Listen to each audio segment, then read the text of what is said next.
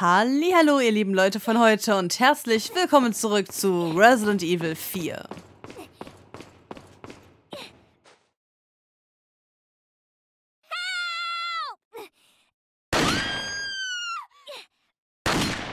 Ernsthaft?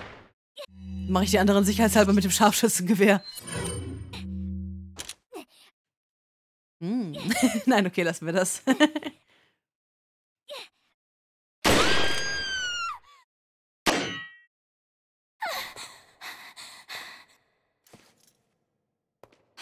Talk about near-death experience.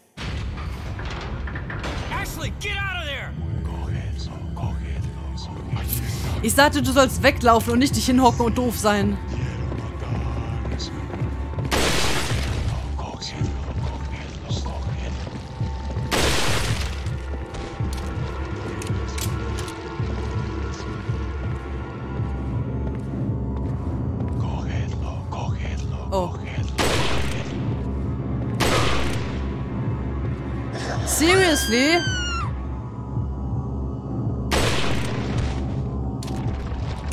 Ashley, lauf, beweg dich.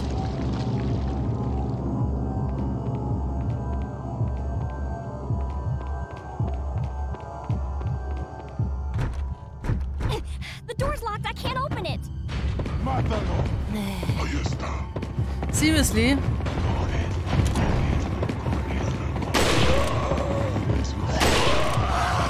Oh mein Gott, was, wie, wo, wer? Oh, seriously. Oh, ups. Entschuldigung. Ashley, du bist halt zu fett, ne? Musst du einfach einsehen. Ganz klarer Fall.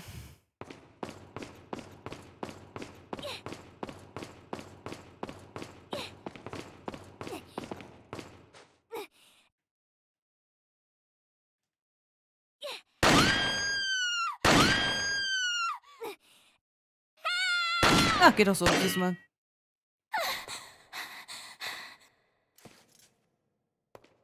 Talk about near-death komm, mach hin. experience.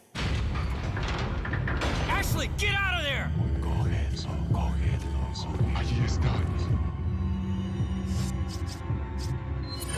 Ich kann auch den Raketenwerfer benutzen.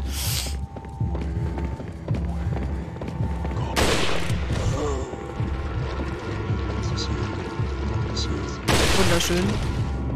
Na? Da ist der letzte. Gochidlo, Gochidlo, Gochidlo. So, Ashley, beweg dich. Los. Lauf, lauf, lauf. Geht doch.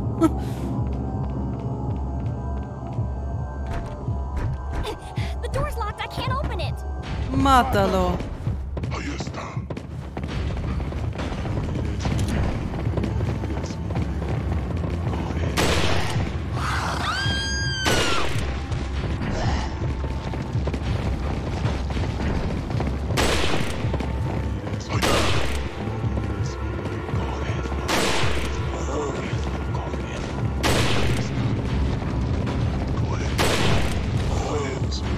Oh, meine Güte.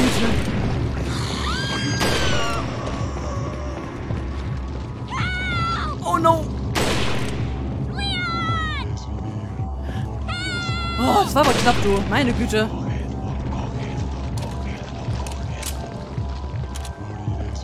Der Schlüssel liegt doch da, Ashley. Geh doch einfach raus.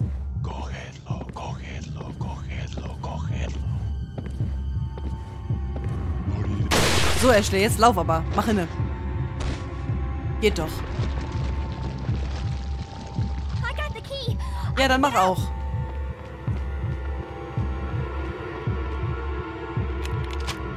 Ah, Kind, stress mich doch nicht so. Und ist das nicht schön? Jetzt können wir, jetzt können wir mit Ashley spielen. Yay! Wir sind jetzt doof und können nichts mehr. Aha.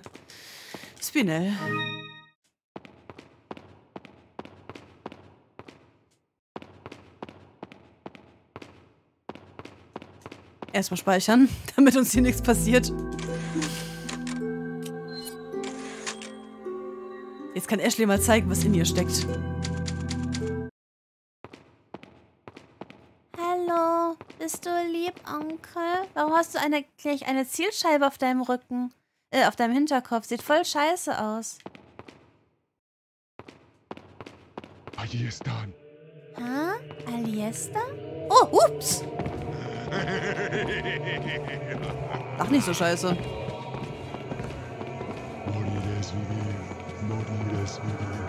Mach!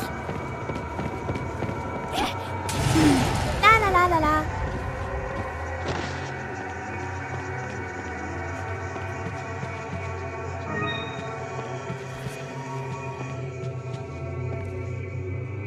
Du lebst ja immer noch, du Scheißkerl.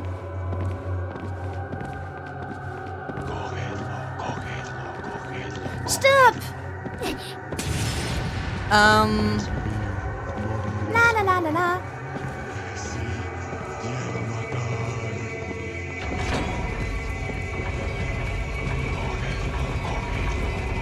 mach schneller, Ashley, mach schneller, mach schneller, mach schneller, mach schneller. Oh mein Gott, nein! Das war aber knapp, du.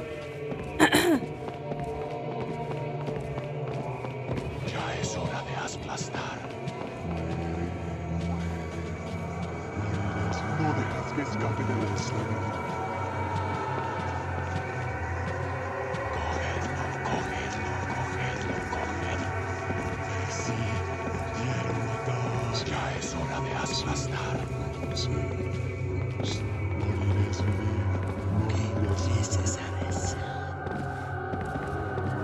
Bist du aber doof. Wo ist der andere? Jetzt komm doch mal hier rein, Junge. Irgendwie habe ich das Gefühl, er macht das nicht. Ach nö. Stirb!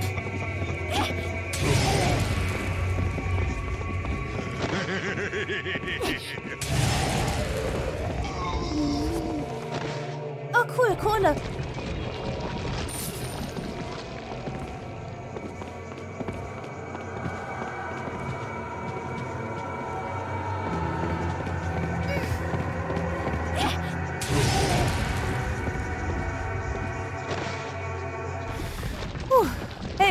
Ashley hat Feinde besiegt. Wuhu. Ein Wunder. Cool. Ich bin voll overpowered jetzt. Hey. Oder auch nicht. Eigentlich wollte ich die ja halt beide hier im Raum haben, dass ich einfach hier den Schalter hätte betätigen können, dann wären die beide eingesperrt, aber irgendwie, naja, ging das halt alles nicht so schön. Hier hätte ich auch noch reingekonnt und was werfen können. Ist da eigentlich was zum Lesen? Ist da was zum Lesen? Nee, das kann ich nicht lesen. Dann halt nicht. Bei diesem Bett muss ich sofort an Code Veronica X denken. Naja. Eindeutig das bessere Spiel, aber auch definitiv schwieriger.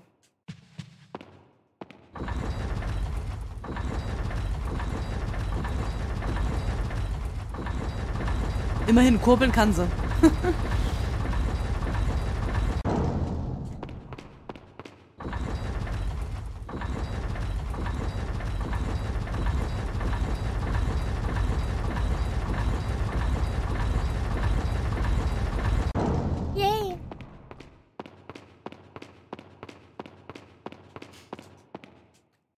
Cool. Süß, wie sie auch dasteht. Niedlich. Wenn sie ansonsten nur nicht so nervig wäre. Ich will hier direkt hin, aber ich darf nicht. Sagt sie dazu auch wirklich was Großartiges? Was, ich kann da durch? Warte mal, dann war es die andere Tür, durch die ich wollte und nicht darf, ne? Wait. Woher hat sie ja nicht auf einmal die Taschenlampe? Egal. Kann ich hier auch durch? Aber hier kann ich auch rein. Okay. Notiz des Butlers. Da Sir Ramon Salazar keine Familie hat, muss Lord Sadler seinen starken Glauben an die Los Illuminados genutzt haben, um ihn dazu zu bewegen, die von seinem Ahn versiegelten Las Plagas zu befreien. Sir Salazar würde so etwas niemals wissentlich tun. Ich hätte das falsche Spiel des Lords ahnen müssen. Jetzt bin ich mitschuldig. Ich habe keine Ahnung, was der Lord vorhat, aber Sir Salazar wurde nur ausgenutzt. Nun ist es zu spät, Sir Salazar hat die Plaga in seinen Körper injiziert. Haben sie erst einmal adultes Stadium erreicht, gibt es kein Zurück mehr. Der Plagerparasit stirbt erst, wenn der Wirt stirbt. Es gibt keine Rettung. Vielleicht hatte Sir Salazar eine Ahnung von den Plänen des Lords. Aber ich kann nichts tun. Ich diene der Familie Salazar Salazar seit Generationen. Ich bin bereit, meinen Dienst bis zum Ende auszuführen. Auch ein bisschen dumm.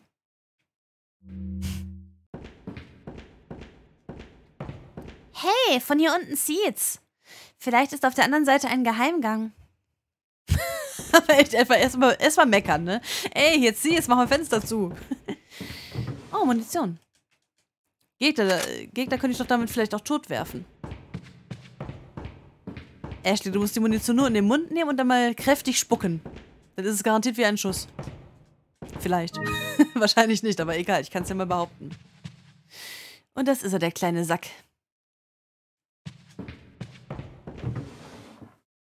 Schön. Das stelle ich mit in mein Zimmer, wenn ich wieder zu Hause bin.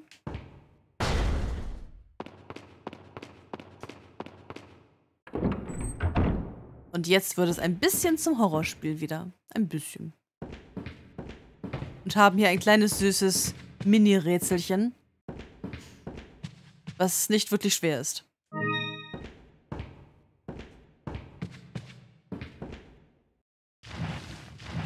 Immerhin, sie kann sogar schieben. Ein Wunder. Schalter drücken, ja. Ah. Oh, falsche Tür.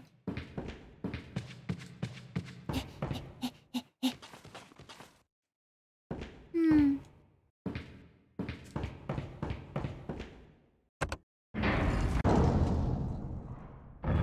Oh, Mano. Warum macht ihr das? Will.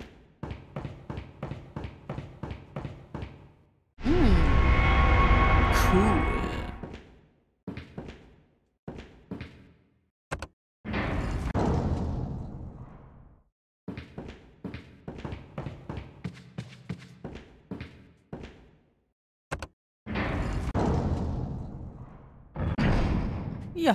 wie gesagt, einfaches Rätsel.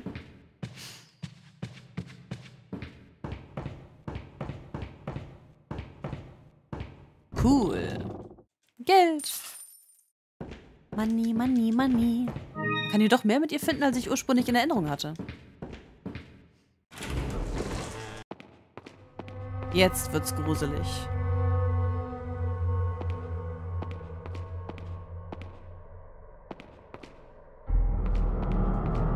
Ich mag diesen Hintergrundsound überhaupt nicht. Hehe, hallo.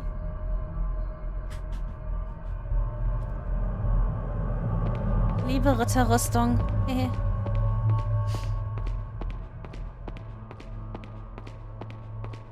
Tapfere Ashley.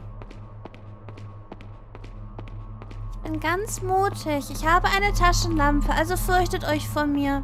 Kann ich damit auch Gegner eigentlich blenden? Nee, ich kann damit nicht zielen. Noch mehr. Noch mehr Rüstungen. Ist hier irgendwas Schönes? Irgendwas für kleine Ashleys? Nee. Was ist hier? Achso. Nichts Gutes.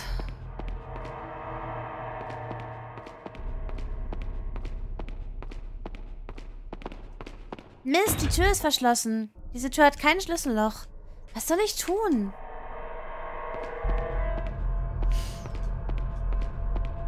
Sieht aus, als würden all diese Teile ein Symbol formen. Schwer zu sagen. Teile zusammensetzen, ja.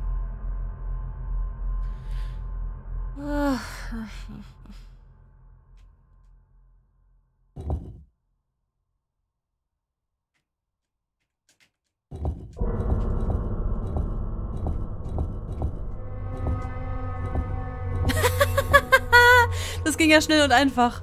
Besser als gedacht, weil ich mag solche Rätsel eigentlich überhaupt nicht. Aber das ging ja jetzt wirklich. Ich habe instinktiv einfach mal das Richtige getan. Schön. Ein Teil fehlt noch. Ja, dann setz es doch ein. Du hast es doch gefunden, oder nicht? Sehr schön. Steintafel platziert. Ich kenne wirklich andere, die Stunden an diesem Rätsel verbringen. Und ich war eben so zack, zack, zack, fertig. Und das war absolut unbeabsichtigt. ist so schnell zu schaffen, aber freut mich natürlich. Hier ist überall gar nichts. Außer da hinten. Ich hätte das Gefühl, dass was Böses passiert, wenn ich das nehme. Oh, das ist aber ein schönes Armband. Das behalte ich. Hm.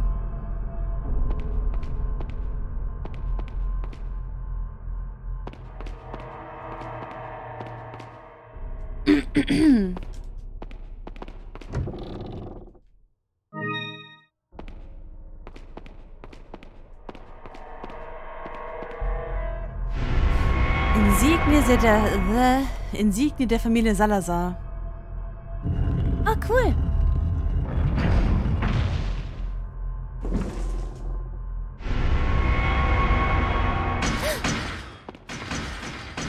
Ach du Kacke. Ah! Ah! Hilfe, Hilfe, Hilfe.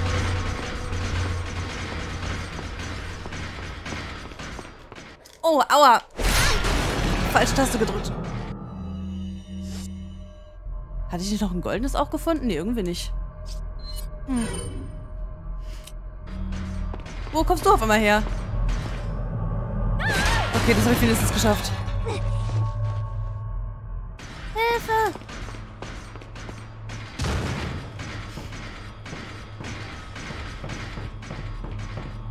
Oh, nee.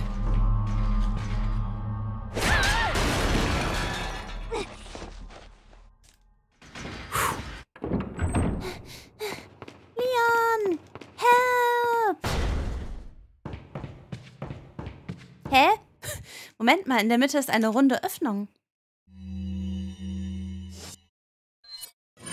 Insignien der Familie Salazar verwendet. Jetzt kann ich das Ding drehen.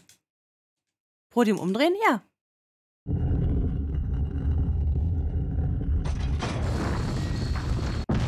Leon, ich musste Rätsel lösen. Ich hab's geschafft, obwohl ich dumm bin. Sei stolz auf mich.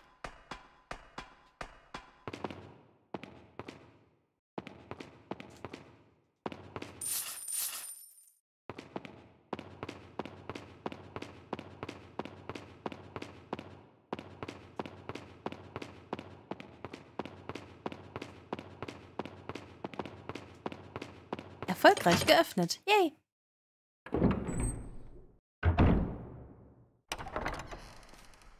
Leon! Ashley! you did good.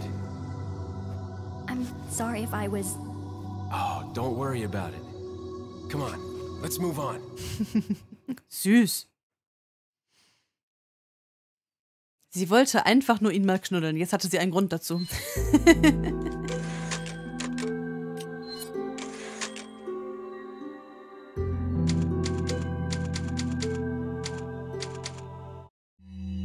Du bekommst einige Gegenstände von Ashley.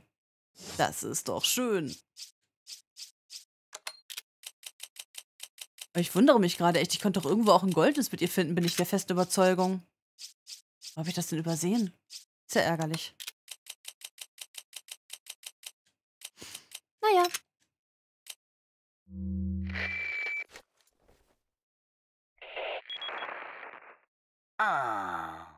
What a touching moment we have here. All spoiled thanks to your interruption. Why don't you do us all a favor and leave before the audience gets pissed off?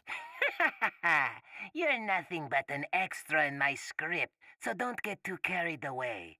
Your biggest scene is over. I don't ever remember being a part of your crappy script. Well then, why don't you show me what a first-class script is like through your own actions? Das werde ich schon noch. Keine Sorge, mein Freund. Aber gut. Die gute Nachricht ist, wir haben Ashley wieder. Die schlechte Nachricht ist, wir haben Ashley wieder. Aber noch eine gute Nachricht ist, dass wir jetzt zurücklaufen könnten, um die Broken Butterfly zu holen. Das sollten wir auf gar keinen Fall vergessen. Aber das machen wir im nächsten Part, denn dieser Part ist lang genug geworden. Und auch Ashley, was ich noch sagen wollte. Guck mal, Leiche. Sagt sie was dazu eigentlich, wenn ich ihn anquatsche? Nö, gar nichts. Einfach nur, sie hat wieder Angst. Ah, bitte beschütze mich, bleib bei mir. Also, weißt du, wie nah sie einfach wirklich jetzt bei mir ist, ne? kaum, dass sie Louis gesehen hat. Ich meine, hatte an sich nicht immer einen Grund, ne? sie kommt ja allgemein sehr gerne sehr nah. Aber hey, was soll's. Naja, auf jeden Fall ähm, vielen Dank fürs Zuschauen und fürs Zuhören und bis zum nächsten Part, ihr Lieben. Bye, bye.